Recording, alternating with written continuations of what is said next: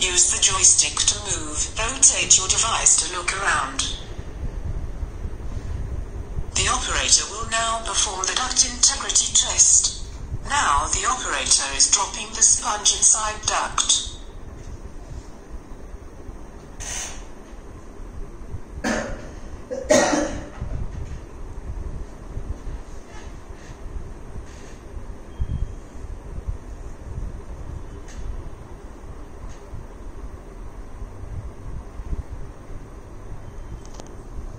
Here the operator is blowing the shuttle into the duct.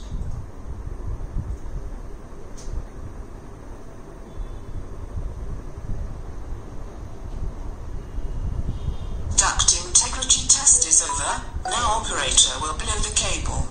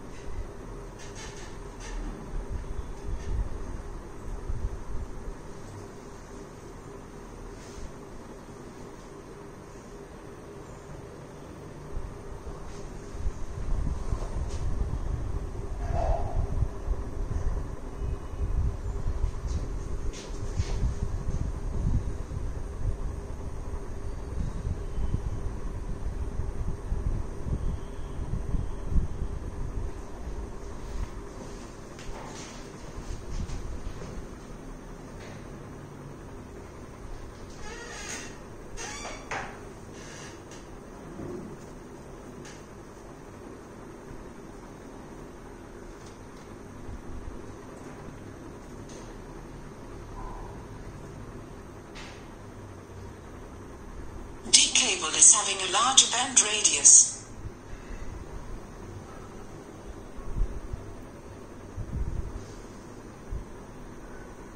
A2 cable is having a smaller bend radius.